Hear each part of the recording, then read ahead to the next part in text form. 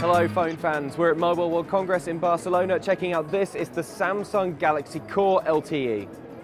Now as you probably know, Samsung is best known for making really, really enormous mobiles, but this is actually one of its smaller options.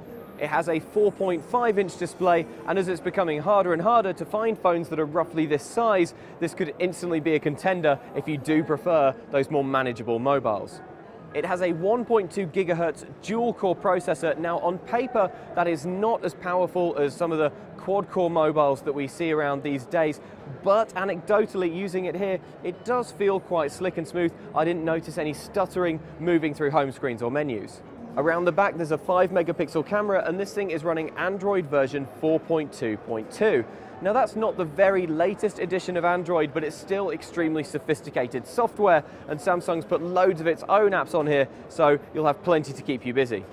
As the name implies, this thing has LTE or 4G, so you will get faster mobile data. Because the specs aren't too impressive, I'm hopeful that this phone will be quite cheap and could be a good way of getting affordable 4G. It's out in the UK in the next few months. Here's hoping we can find it at a decent price. Let me know what you think. I'm Luke Westaway for CNET. Check out cnet.com for loads more from Mobile World Congress.